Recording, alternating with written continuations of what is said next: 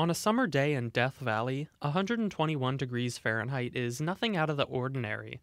But the heat is still pretty unbearable for Alicia Chab, visiting from Lincoln, Nebraska. Your feet start to burn if you're not wearing like actual, because I have flip flops on and my feet feel like they're gonna fry. If 121 is the point at which feet start to fry, imagine what 134 must feel like. That's reportedly how hot it got here a century ago.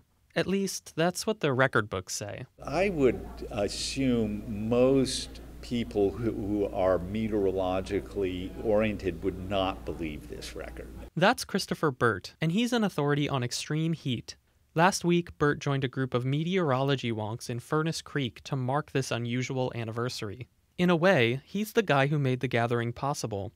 That's because he helped to get the previous all time heat record, held by a small Libyan town called Al Azizia, thrown out, bestowing Death Valley with the honor of world's hottest place ever. I thought, well, within the weather community, of course, it would be news, but I would never have thought that a lot of, you know, there'd be people walking around with t shirts saying 134, you know, to like that.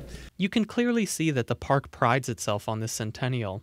But Burt and many of his peers think the commemorative t shirts being sold at the visitor center are probably not accurate. In fact, a few of the more obsessive weather watchers out there told Burt he was betraying them just by showing up.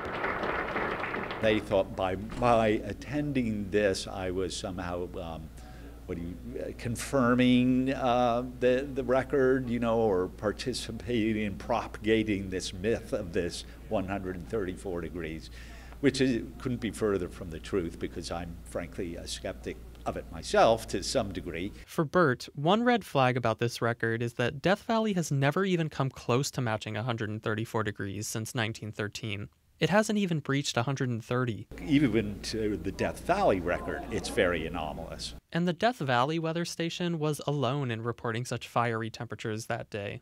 Nearby places were hot, but not that hot. It was only 112 in Las Vegas, um, uh, 115 in Blythe. And what should we make of reports saying it was windy that day? That's a condition usually associated with cooler temperatures.